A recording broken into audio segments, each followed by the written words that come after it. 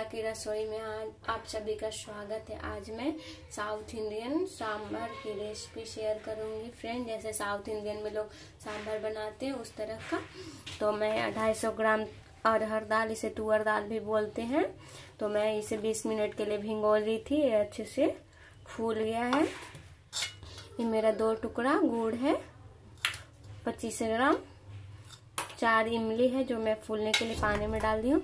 और 10 से 12 कड़ी पत्ते है। एक मीडियम साइज़ के प्याज मैं बारीक काटी हूँ, दो हरी मिर्च काटी हूँ, एक धनिया पत्ता मैं काटी हूँ और चार बीन्स है, आधा इंच गाजर का, गाजर है, जो मैं बारीक काट ली हूँ, शिमला मिर्च मैं काट ली हूँ एक मीडियम साइज़ का टमाटर मैं काट लूँ एक मीडियम साइज़ का आलू है, मैं काट ली हूँ। आप अपने पसंद के हिसाब से सब्ज़ी रख सकते हैं फ्रेंड्स कम या ज़्यादा। आपको जो सब्ज़ी पसंद हो, वो डालिए। मेरे पास जितनी सब्ज़ी घर में अवेलेबल थी, मैं उतनी सब्ज़ी डाली हूँ। फ्रेंड्स मैं दाल को अच्छे से धो ली हूँ और मैं कुकर में डाल दी हूँ। इसमें हल्दी और नमक हम डालेंगे तो मैं आपको दिखाती हूँ कि आधा चम्मच में हल्दी पाउडर डाल दी हूँ। तो ये देखिए आधा चम्मच हम नमक डाल दिए हैं। डाल दिए हैं और मैं इसे तीन सीटी लगाऊँगी। तीन सीटी में दाल अच्छे से पक जाएँगे। मैं इसमें सब्ज़ी नहीं डाल के पका रही हूँ क्योंकि सब्ज़ी ओवर कुक हो जाता है तो अच्छा नहीं लगता है। अलग से सब्ज़ी पकाऊँगी। बहुत सारी मैं वीडियो में देखी हूँ कि दाल में ही सब्ज़ी डाल के पका देते हैं। तो ये देखिए फ्रेंड्स, हम गैस पे रख दिए हैं। दाल को और तीन सीटी बजने का इंतज़ार करूँगी। कि फ्रेंड्स, हम कढ़ाई गर्म करने के लिए रख दिए एक तरफ़ मेरा दाल पक रहा है, तब तक मैं सब्ज़ी को फ्राई कर लेती हूँ। तो ये देखिए फ्रेंड्स, हम तेल डाल दिए हैं गर्म होने के लिए। फोरन में मैं सबसे पहले सरसों डाल दी हूँ।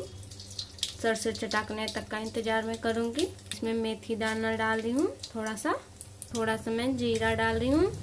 तीन हम सूखी लाल मिर्च डाले हैं। फोरन में हम सर अरहर दाल, चना दाल और उड़द दाल में डाल दी हूँ, क्योंकि ये सब दाल डालने से तभी साउथ इंडियन जैसे फ्लेवर आता है। तो ये देखिए फ्रेंड्स हम आधा चम्मच हींग हींग डाल रहे हैं। तो ये देखिए हम आधा चम्मच हींग डाल दिए हैं। हम इसमें 10 से 12 कढ़ी पत्ता डाल रहे हैं। ये देखिए इस तरह से।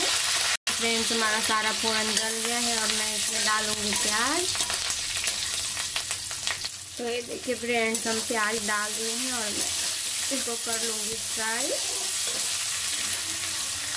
तो ये देखिए फ्रेंड्स, हम इसमें गाजर, आलू, बीन्स, हरी मिर्च, शिमला मिर्च सारे डाल दिए हैं सब्ज़ी और मैं इसको फ्राई करूँगी दो मिनट तक।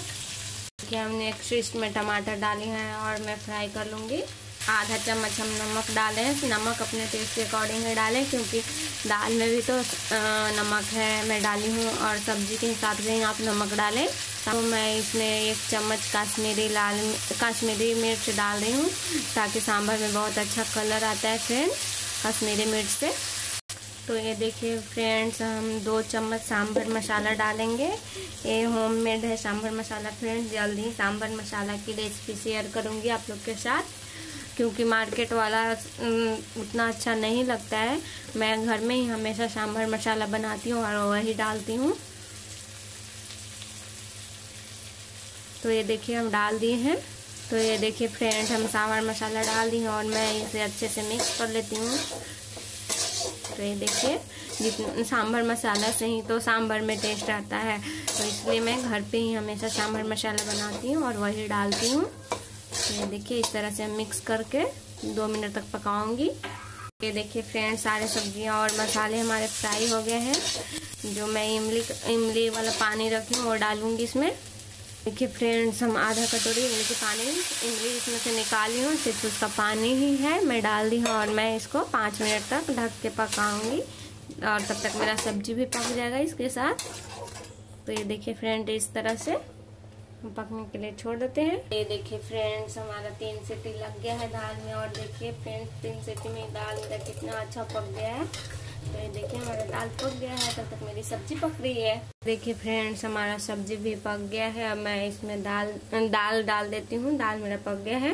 ये देखिए फ्रेंड्स हम दाल डाल दिए हैं और मैं सब्ज़ी और दाल एक साथ मिक्स कर लेती हूँ ज़्यादा गाढ़ी लग रही है। इसमें मैं थोड़ा सा पानी और मिलाऊँगी।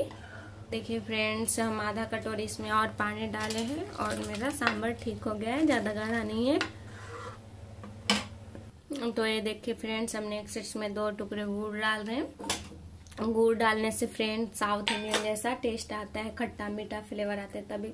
तो असली साउथ इंडियन जैसा हमारा सांभर बनेगा। फ्रेंड्स हमारा सांभर बन गया है, मैं अब इसमें धनिया पत्ता डाल रही हूँ।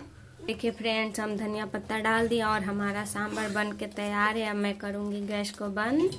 तो ये देखिए फ्रेंड्स हम कर दिए हैं गैस को बंद। आप लोग ज़रूर ट्राई कीजिएगा, बहुत ही टेस्टी और बढ़िया बनेगा फ्रेंड्स तो मैं आपको सर्व करके दिखाती हूँ सांभर।